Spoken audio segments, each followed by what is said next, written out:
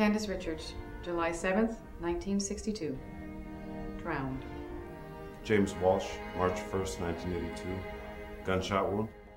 Sandra Mitchell, May 5th, 1999. Drowned in a boating accident.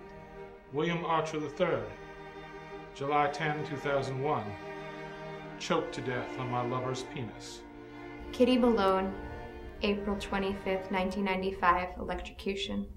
Matt Thompson, December 14th, 1985. I died in my sleep. I don't know why. Kyle Humphrey, August 16th, 2008. The day I found out the hard way that I'm allergic to peanut butter. When you die, visit the number one paranormal psychiatrist in the living world, Dr. Brooke Beckman.